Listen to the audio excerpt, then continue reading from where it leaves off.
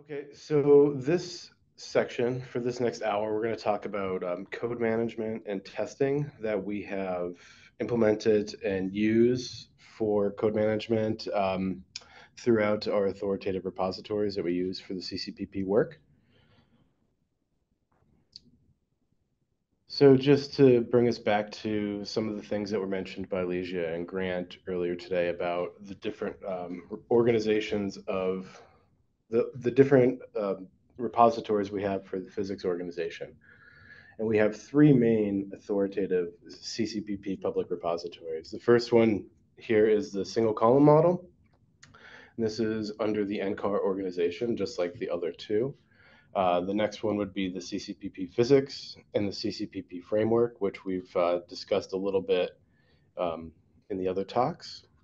For all of these authoritative repos, we use main as the default branch.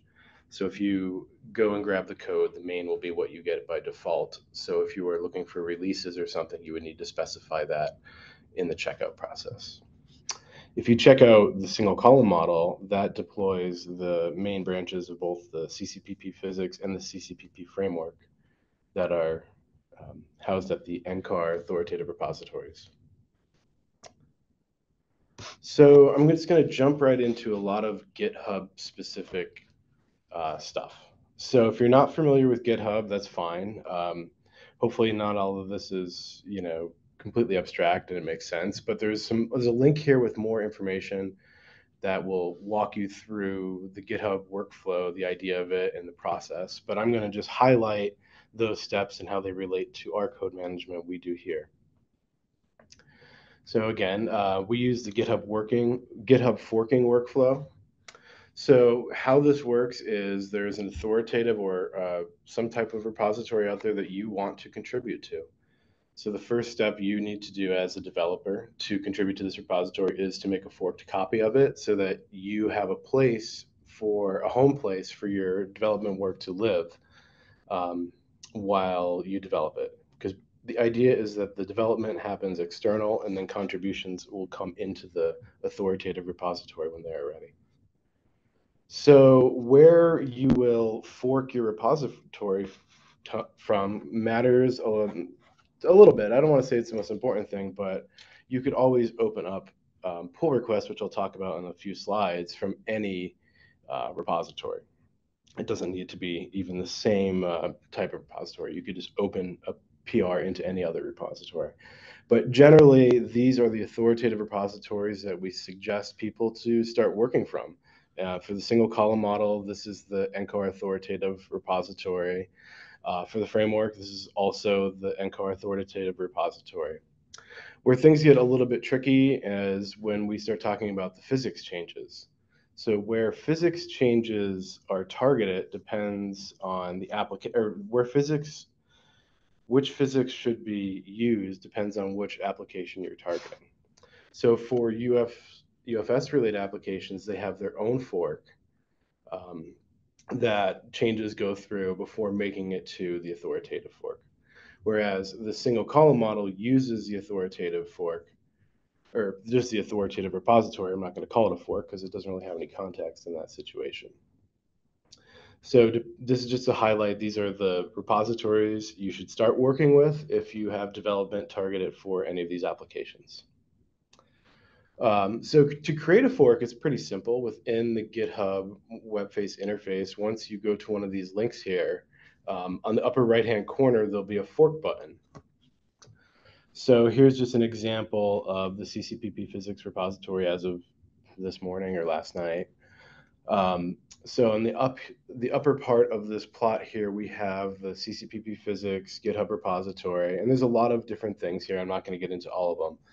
But one thing you can see here is this fork button on the right here, just below this green arrow. And if you click on that and you have a GitHub account, it will take you to a page where uh, a personal copy of the CCPP physics repository, in this case, will be added to your personal repositories. So for the NCAR physics, you can see we have, you know, 134 people have forked. Um, there have certainly not been 143, 134 people who have contributed back to the CCPP physics, but there have at least been this many people who have been developing it to some capacity. Um, Right. So, and then on the bottom here, after you click on this button and create your fork in your own personal, you know, repository, you'll see this, uh, the CCPP physics repository forked from the NCAR CCPP physics. Um, it also, you know, gives you some other information here about where it stands in terms of its status with regard to the code base back at the authoritative. In this case, this branch that I created is up to date with the physics branch in the authoritative repository. Um, I'm going to move along to the, the next piece here. So forks are the places that you have to create in order to contribute development to the, the authoritative repositories. Branches are spots on your forked repository that you actually do the work. So the branches are very lightweight and they can be created very simply. But what I'm going to go through here is uh, just a quick little walkthrough, a crash course on how to, you know, change some file in the physics in the single column model. So starting in this line in the middle of the left-hand side of the page where I say git clone. So this is the first, you know, piece here where I'm cloning the GitHub repository for the NCAR authoritative CCPP single, single column model. I have this um, minus minus recursive here because that means I'm going to not only check out the single column model, but also any of its dependencies, which are known as submodules in the Git world. Um, so in the case of the single column model, the submodules are the physics and the framework that are checked out with this recursive option. So by default, this will get checked out into a local directory called ccpp slash scm. So I'm going to actually go into the physics directory here. So I'm, you know, CDing into the single column model, into the CCPP, and then into the physics. And the first thing I want to do is tell GitHub that I know I just cloned from the authoritative repository, but if I make any changes and I want to, you know, push these back anywhere, I want to push them to my personal forked repository. So the first step I do before I do any code changes is I add a new remote that points back to my repository. So in this case, I just call it Dustin Swales, and it has the same exact link as the authoritative repository. It's just pointing back to the forked repository from the previous slide. All right, so now I'm just going to get, you know, some file here and change it. Oh, sorry, sorry. Before I change files, I want to say that I'm I'm creating a branch on my forked repository called bug fix for some file. So I do git checkout minus b and then some name. So this checks out a new branch of code or creates a new branch and uh, puts me into that branch. In this in this case, it's bug fix for some file. And then the next two steps, I'm just, you know, I, I, make, I edit some file and I, and, you know, make some changes to it. And then to commit this change, what you have to do is add the file and then commit it. So these last steps here where I say git add and then git commit. So I'm just pushing, or I'm sorry, I'm not pushing, I'm just committing this file to my local copy of code on my machine. And then this final step here, this git push push, here's where I'm actually taking the changes that I created, which is a new branch, and I also edit a file. Um, and I'm pushing this back to my forked repository. So at this point, through these eight steps, these are basically the governing steps for workflow when it comes to GitHub. Um, create a fork, create a branch, push your changes to that branch on your fork. And then when you're ready, you will open up what is called a pull request, to push those changes into the authoritative repository. So just in the bottom here, to summarize these eight lines of um, code I have here, um, in this example, I made some changes to a file, create a new branch on my forked CCPP physics repository, and push these back up to GitHub. So just look, here's another snapshot from my personal GitHub repository. Um, I didn't actually create a new branch for this example, but here is, you know, what it would look like in your forked repository if you just click on the branch tab um, right up in the upper left here, but where main is in this picture, and all of your other branches that you have will be will will be highlighted.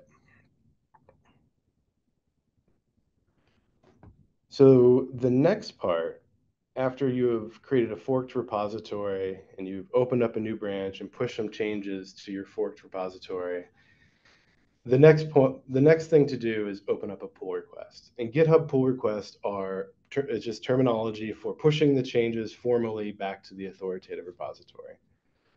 So pull requests will go through a review process where um, subject matter experts will review these and uh, also the code managers.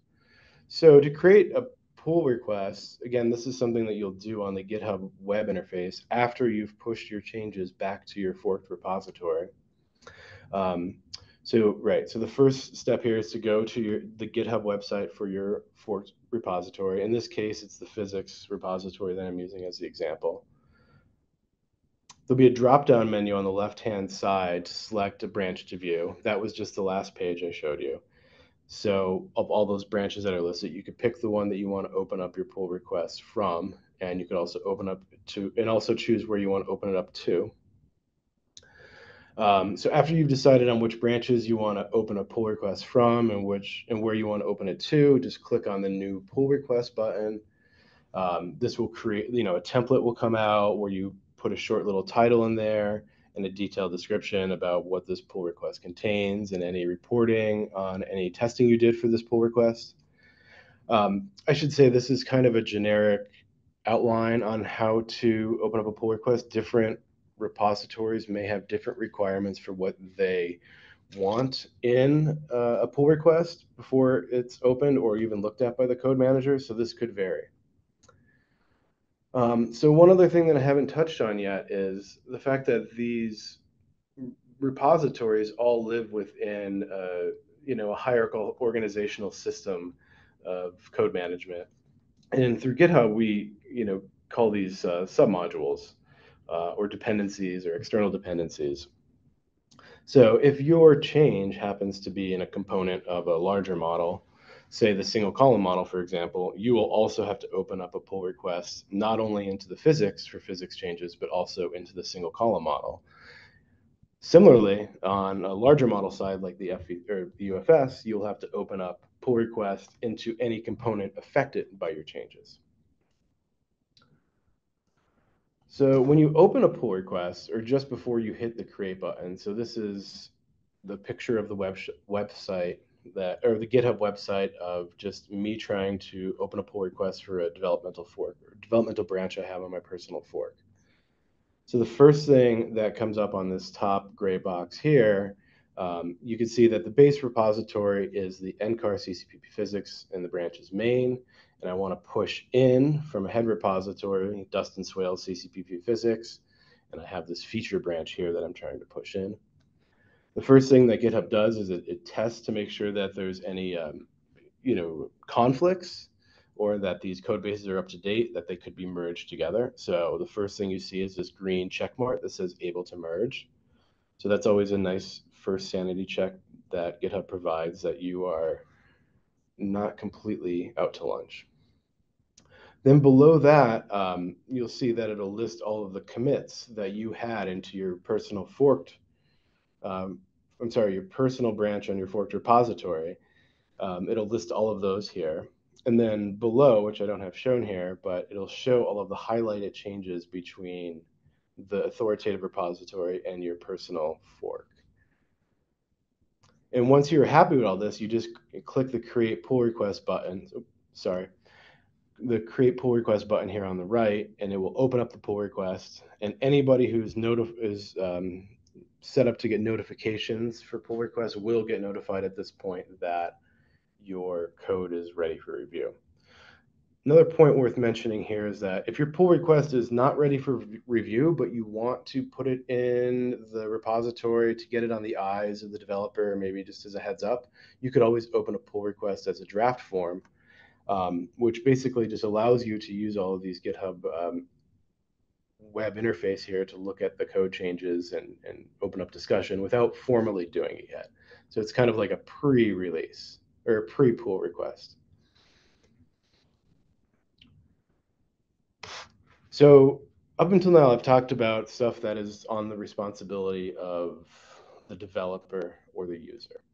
So now I'm going to start talking about some of the, the testing, or I'm going to switch over the testing for a moment and talk about some of the continuous integration testing that we have in the authoritative repositories.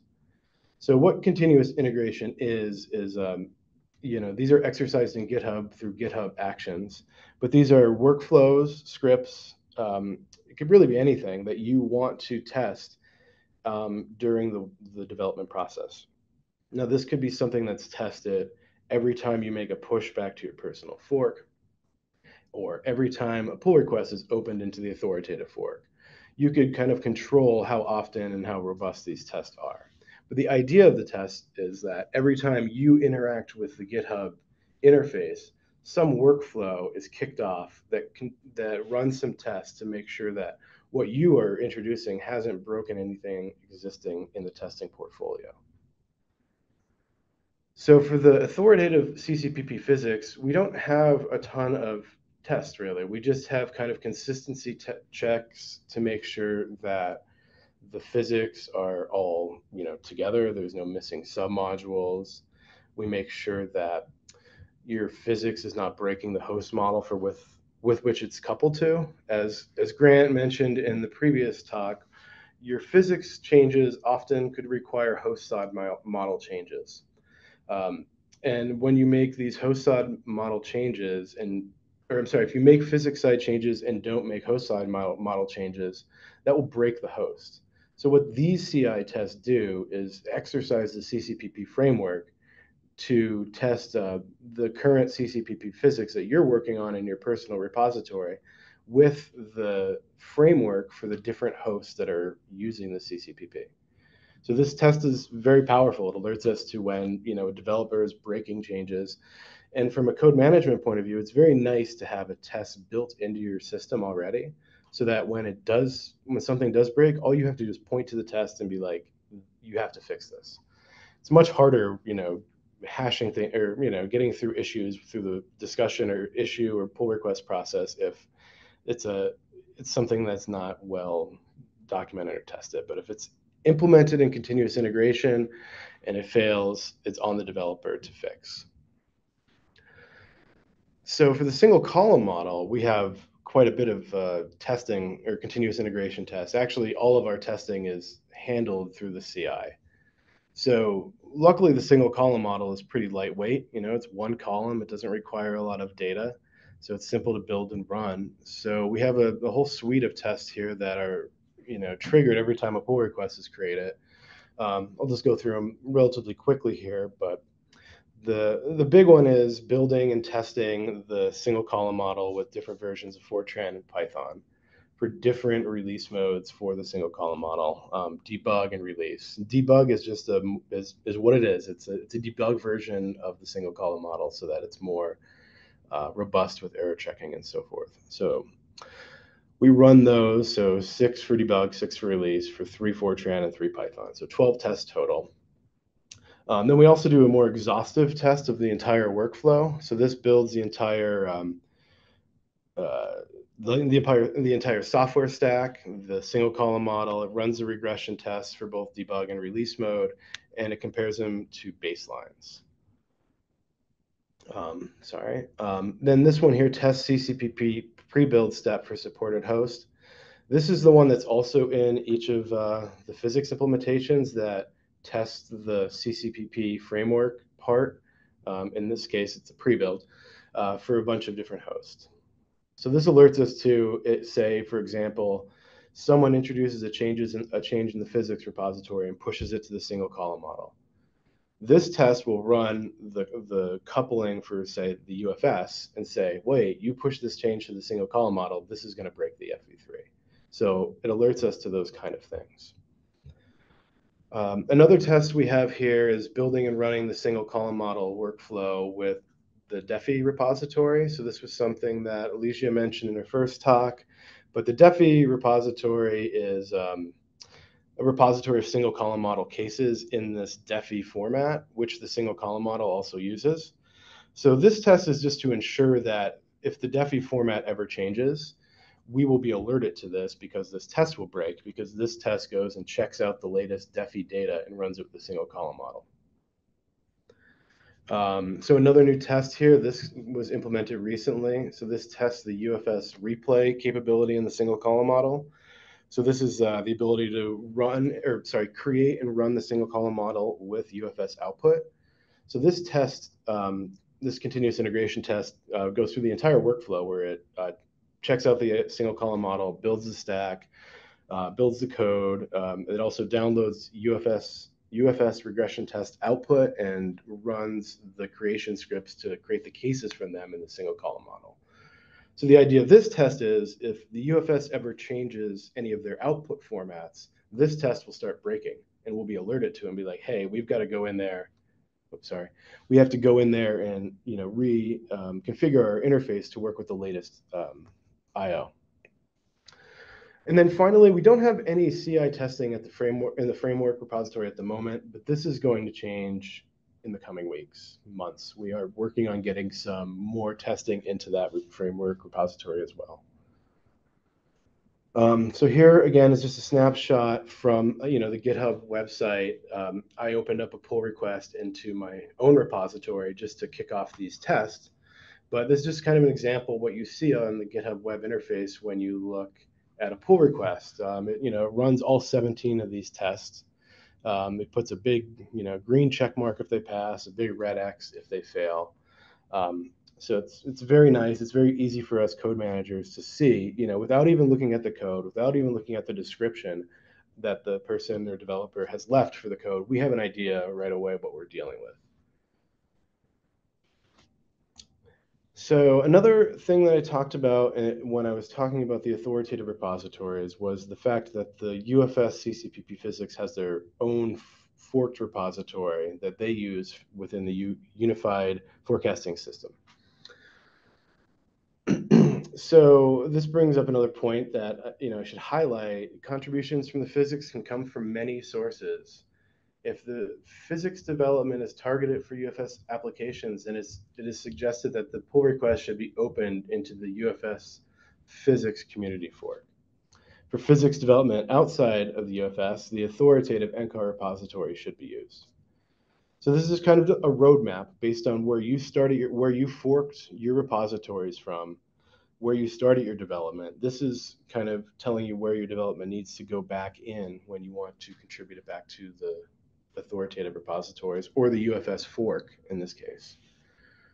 Um, in the case of the UFS fork, the, the code managers for the CCPP physics are, are responsible for keeping both of these, the authoritative NCAR repository and the UFS repository, the UFS fork, uh, up to date with one another.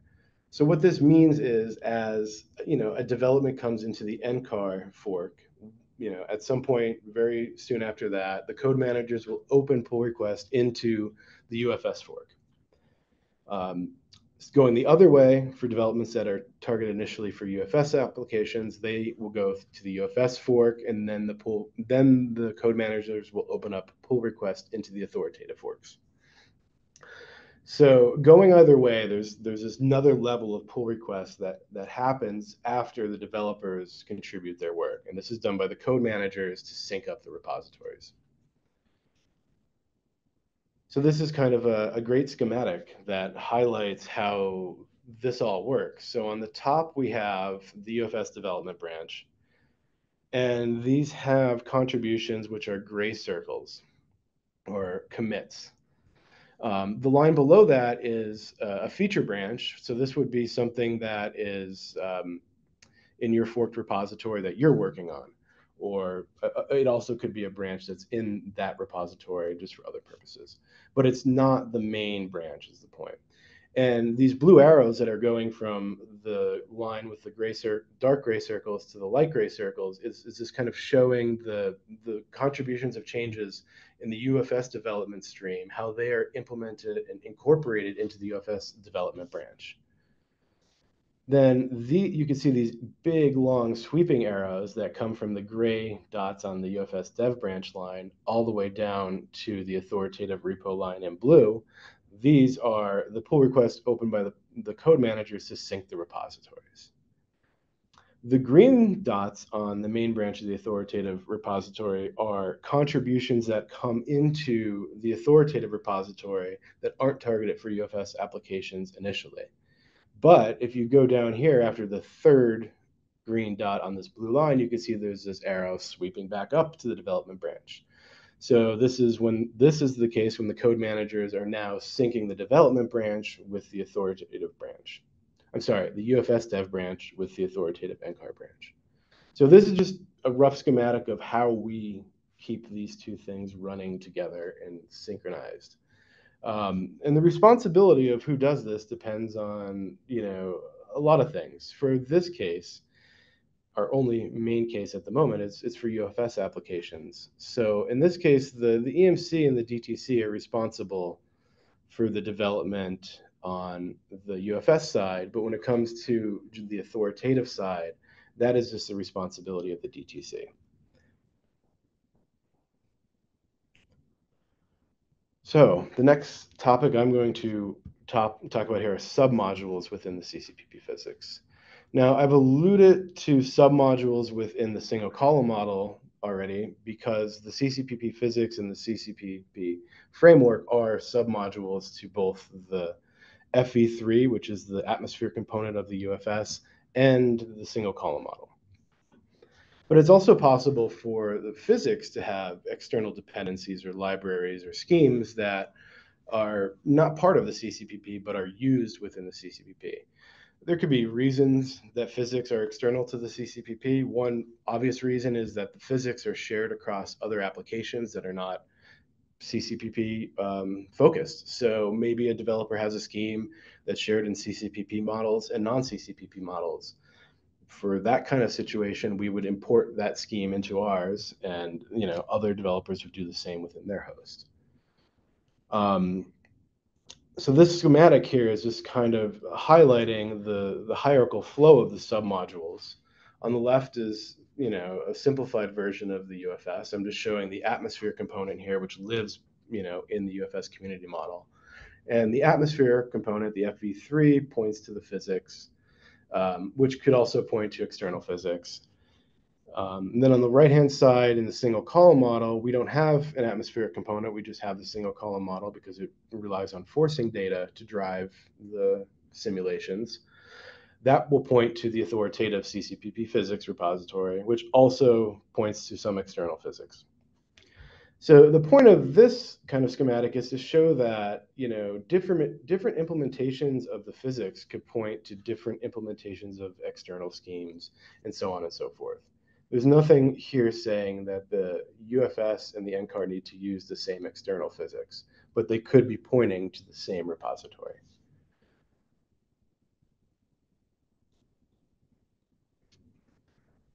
So uh, submodules are very useful for a lot of reasons. It really, my main idea behind liking to use submodules, it makes this really clear distinction of where the responsibility lies. When things are organized into different directories and hierarchically into different um, repositories, it's easier to assign responsibility to different parties. So externally developed schemes could live in one repository, whereas the coupling to the host could live above it. Um, this, this allows for distributed development. So the, what's nice about this is parameterization and CCPP development are completely decoupled. Sorry. So the development can march on um, under the hood, you know, without CCPP having to know about it or want to incorporate it yet. Um, but it's it's still happening in there. And then at some point, if any host application goes, hey, this one parameterization is really advanced and we haven't updated our you know coupling to it, our driver, we should really think about getting these new pieces in. They could do that very easily when the core of the physics parameterization lives within a submodule. On the other hand, if you had a submodule, or if you didn't have a submodule and you wanted to introduce and update a parameterization, if you you know took a, an approach where you implemented this hard-coded uh, scheme within your model, you will have to go to the other model and look at it and see where it changed and pull the changes over. Whereas if you have the core of the parameterization isolated to a submodule, it makes updating it very clear. It also makes it very clear what part is part of the scheme and what is part of the coupling to the host. which should be you know clearly defined because couplings to the host should live within the host model, and in this case, that would be the CCPP physics repository. And in the case of the scheme parameterization, that should live in the submodule below it. So, you know, this allows people to pull in things into their development as needed or as desired. They could stay as up to date with their submodule components as they like. Um, you know, this this varies how often people update components of their model depending on the application. There are some components that are updated nearly every time we have a pull request in the UFS weather system, and there are other components that are updated much less frequently. Um, and this is really straightforward to do from a technical standpoint. If you want to add a submodule to your repository, there's a quick, easy little link here that will tell you, you know, the three or four steps that you need to do to uh, do this. Okay, so on to testing. So with all of the the code management responsibilities we have of reviewing pull requests and making sure all the code is compliant, there's also, you know, this the step of making sure that we're not changing results. And this is this is a lot because there's a lot of tests within the UFS weather system with which the CCPP physics lives. So every time we have tests, we have to go through the, the, the testing gauntlet, uh, if you will, of the UFS. So this, I'm going to just go over this uh, chart real quick, or this table, I'm sorry. Um, but first, on the bottom here, we'll have simple tests, which are unit tests that verify the software integrity using the CCPP single column model.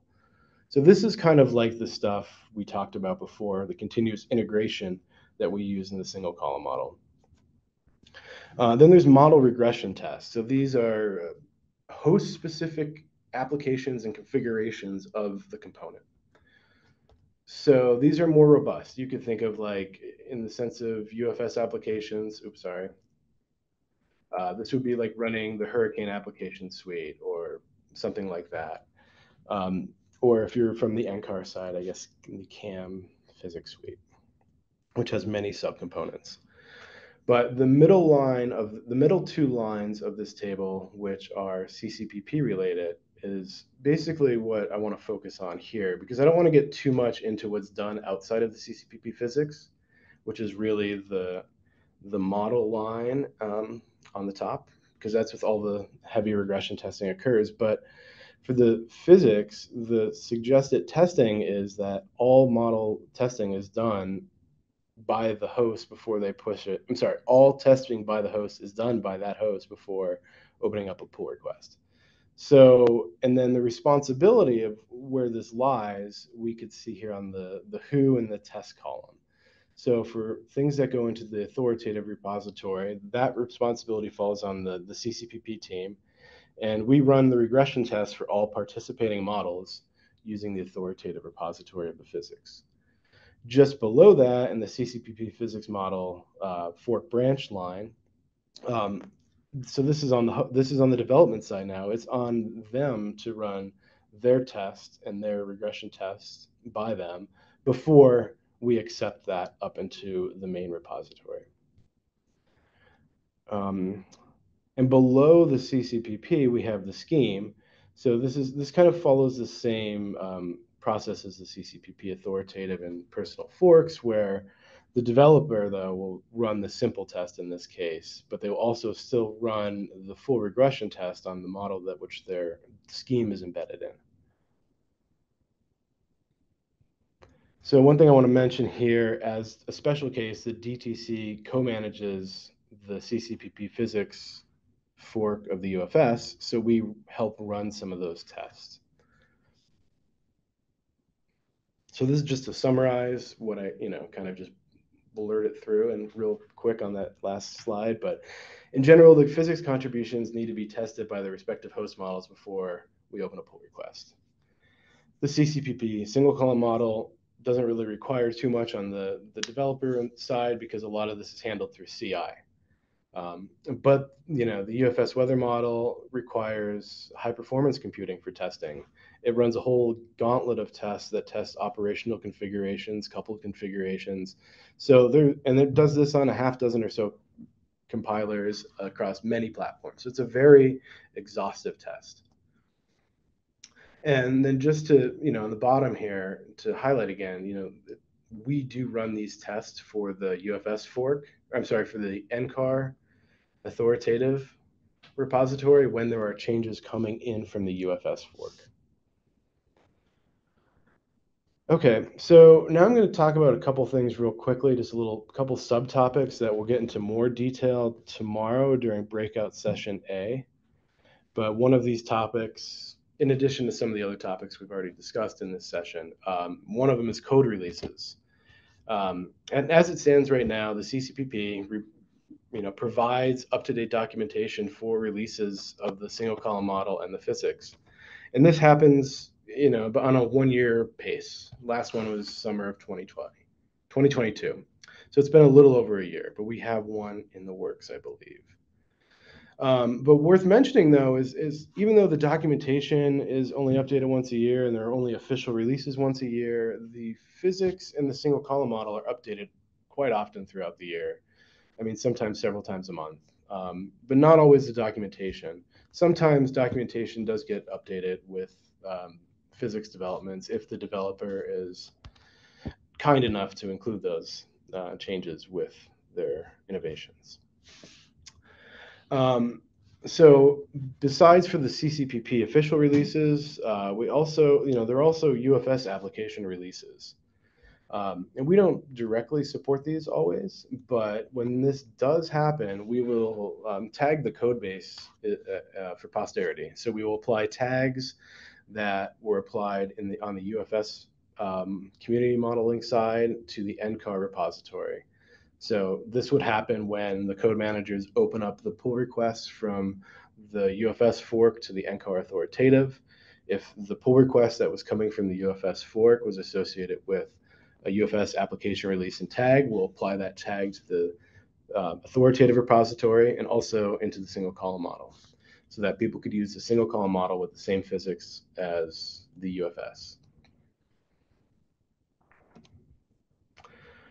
So that leads us to the next subtopic, which would be tagging. So tags I didn't describe in the previous slide, but I referenced them like four times. But tags are used to reference a, a, a point in the code base history. If you ever are on GitHub and you see these big, long 30 digit alphanumeric characters, those are the hashes that you know are unique to each uh, commit. But tags are just aliases for those hashes to make it easier and more user friendly. So we as code managers like to use these, like I said before, for releases and for um, of the CCPP and also anything that comes in from the UFS side. Uh, so I mentioned this in the previous slide, but when a UFS app has a release and applies a tag to it, we will propagate this over to the appropriate NCAR repositories so that the code base is preserved so that you can do the same experiments. Um, here are links to some of the tags that have been um, you know, applied to the single column model, the physics, and the UFS fork of the physics. Um, just forewarning, there's not a lot of tags in there. This is, um, you know, something that we haven't done historically a lot of tagging of the code base, but um, we're open to it, and there's no, you know, major objections to doing it if users want to preserve their uh, history of contributions more closely. So an another topic is, you know, related to tagging is individual scheme versioning. So in the CCPP physics world, we do not tag individual parameterizations or version them. We just tag the individual uh, configurations or suites is the terminology in the CCPP physics world. But there's nothing preventing individual developers to applying, you know, semantic versioning or some other type of versioning um, you know paradigm to what they are doing uh, and that could you know live within the the CCPP physics and they could apply tags accordingly if they want um, it's just that we don't do that because you know as Ligia showed yesterday or yesterday sorry earlier this morning uh, all of the different types of processes we have parameterizations for and some of them we have a half dozen or so so there's you know 30 or so maybe even maybe more i don't know number of different parameterizations in the physics that would all need to be versioned separately So that's something that the CCPP hasn't taken on historically or, or you know, worried about. Um, but you know, we could talk about this more tomorrow in breakout session A if this is interested, if people are interested in um, adding more of this to the code base. Okay, and that was my last slide. So I end it a couple, about 10 minutes early, if that's okay. Um, we have time for questions. There's there's been a bunch of questions in the chat. Um, Ligia and I have have tried to answer some of them, but it, it might be worth going through and see if you agree with our answers.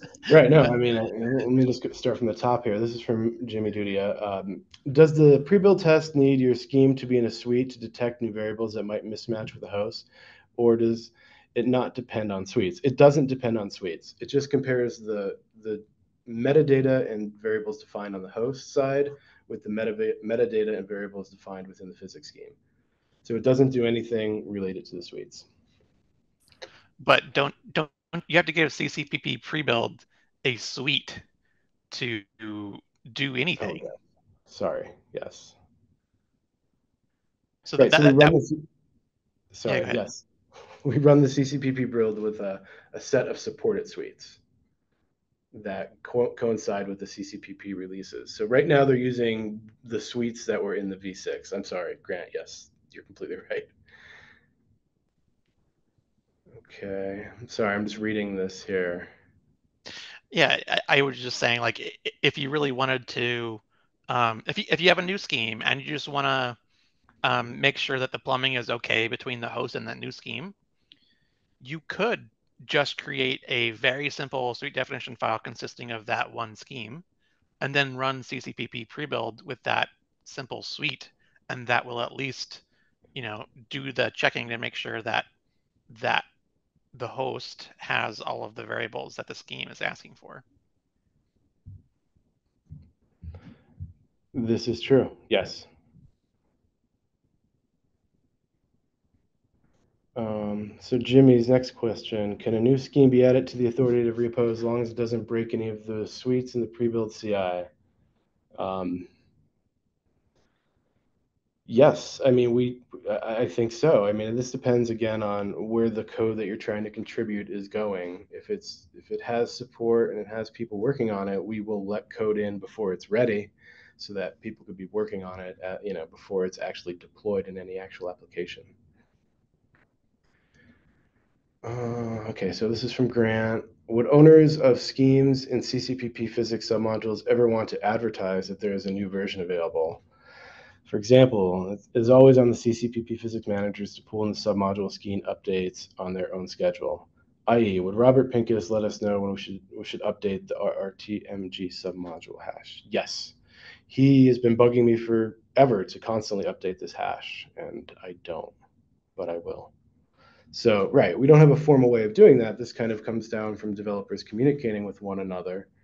Um, you know, I worked with Robert for a long time, so this case may not be applicable for a generalization, but you know, whenever and whenever there was anything new on the RRTMGP side, Robert would send an email to me and probably someone at EMC being like, "Hey, get this in there and try it out." So that's kind of how we've worked so far. Okay, yeah. I mean, I think you, you mentioned that it's typically on it would be on the CCPP code managers to seek out, you know, updates from um, sub schemes that are uh, managed as submodules. But I'm just like I'm trying to think about if this scales up and there are lots of schemes that are as submodules. Like it just seems like a lot of, you know, are you ready yet? Is there is there an update ready yet, or, or or should we just wait until like they advertise and say, hey, you know, this we think there's a good update here. We'll probably have better performance. You should think about pulling it in. Like I, I just like which direction that goes is is not 100% clear to me. You're right. It's not it's not clear to me either how that works. I mean, you know, um, in previous in a previous life working in, in with CAM, I mean, they had some module components that were updated every three years, right? So it, it depends on how often the host model wants to pull in these changes. It's entirely up to them. once a host model has a working version of something, they may be happy and just say, "No, we're good. We don't see any problems. We're not going to mess with it. We're, you know, we'll just leave it as it is." Um, but then maybe three years down the road, they want to update, and they could. If it's a submodule, it's a little bit easier than if it's distributed code that's been given these different flavors across different modeling institutions. Right. So, okay, Grant, you responded to Jimmy's. Sorry, I'm talking out loud as I read these. Um, so there's not really any more questions. It's more discussion about governance and how to, you know, really connect and work and integrate all of these different pieces of, you know, that go into a distributed development model. Yeah. So, so Ted asked if if uh, every model would every model make its own fork? Would every host make its own fork? If you are going to contribute to development back to the authoritative repository, then you're going to need a fork to initiate these changes. Yeah. But if you're just a user and not a developer, you don't need a fork. Fork is just for development. But Dustin, uh, perhaps the question is a higher level, so not not contributing uh, development as an individual developer, but a host model. So would every mo every model make its own fork. So our code management plan uh, says exactly that, that there would be a CCPP authoritative, CCPP physics authoritative, as well as forks for the participating models, just like there is today for the UFS. So that uh, other communities could contribute to their forks everybody contributing to their fork, and those will get synchronized with the authoritative repo at regular intervals.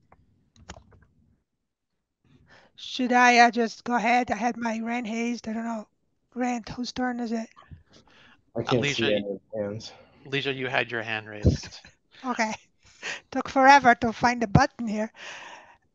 I just uh, I just wanted to say that uh, this code management is uh, you know, partially well implemented in particular for the UFS and the single column model. I mean, because those models have been around for a while and using CCPP for a while. Uh, for the uh, NCAR models that uh, are more, I'd say, you know, new and experimenting with new in experimenting with CCPP, they do not have their own forks of this authoritative repository today. What they have is separate repositories. So both uh, M cubed, NCAR M cubed for WRF, MPAS, and CM1 have a separate repository, and the CGD climate folks have uh, their own repository where they're making their physics CCPP compliant how this is all going to evolve going forward, how the, all these repositories and these different physics go forward in uh, you know well-organized fashion is still a topic of a lot of uh, conversation in our CCPP, CCPP physics code management meetings. So not everybody is working off the same repo at this time. I think Fanglin had a question. Um, I can't see if anybody has their hands raised.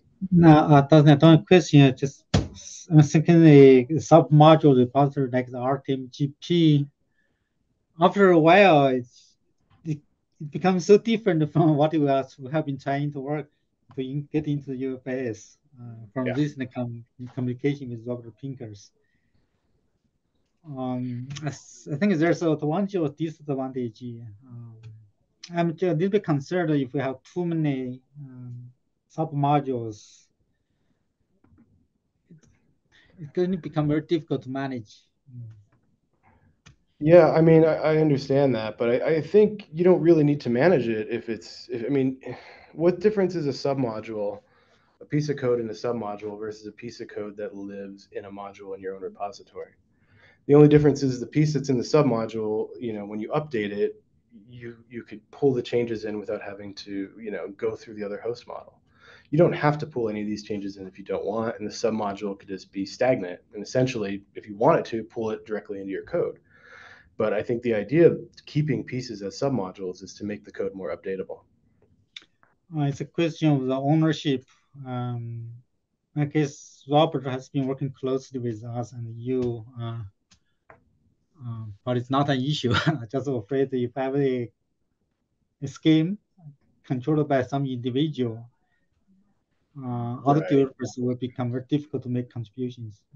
Right. I mean that that's a decision for the you know the govern you know the people who are making decisions on what schemes they want into the repository. That they you know I don't think there's anything saying that you know we need to accept a, a submodule from Cowboy Bill that does a PBL scheme. Like we don't need to do that.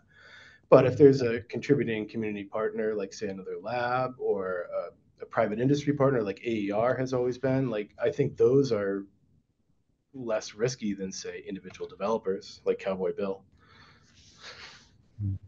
Yeah, agree with you. So it's I mean I don't have like a I don't- don't know what's the best way forward from a systems engineering point and the software engineering point. Having components that are updatable makes more sense than rigid code, um, even if you're not updating it often. But I do see the problem, like you know, like you mentioned with RRTMGP. Since the last time it's been updated, you know, it'll take someone a day or two to really get in there and make it work with the latest and greatest. Yeah, um, I mean, Jimmy just said that it, Noah-MP is going toward using a submodule and and uh, version tags. Um, I mean, this is one of the topics for discussion tomorrow, so I, I think we can continue talking about it and um, you know try to figure out the best practice going forward. Um, you know, with with submodules and tagging.